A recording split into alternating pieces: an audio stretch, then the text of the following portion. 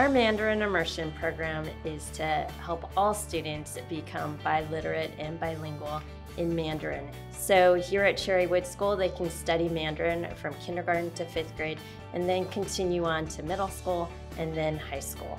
Our Mandarin program is to integrate 50% of our native Mandarin speakers with another 50% of non-native Mandarin speakers.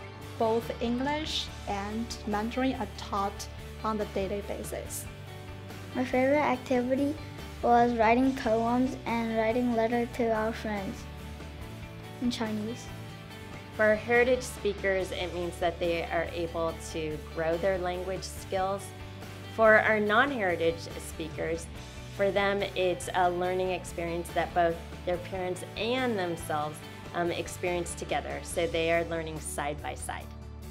一二三四五六七八九十十一十二十三十四十五十六十七十八十九二十。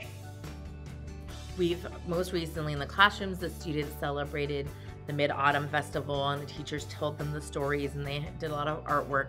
And they had a sampling of mooncake so that they could really get a taste of it firsthand. You know, what is mooncake that you have during that season?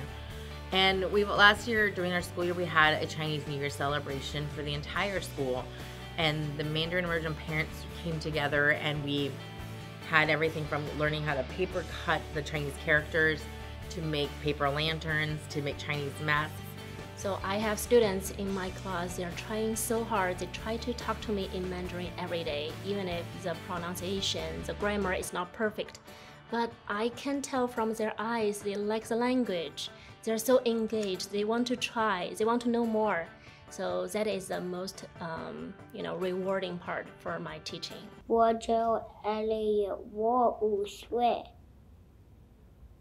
It seems like every day my two sons who are in the Mandarin immersion program in kindergarten come home with new songs that they love singing to each other and new words, new systems of words, new sentences, new ways to count that they are very excited to share as they run around the house screaming at the top of their lungs, counting to 99 in Mandarin, or singing this song that they just learned that day, which is wonderful to see. 我喜欢我的中文，I mean，我喜欢学中文，因为我可以跟我的外公一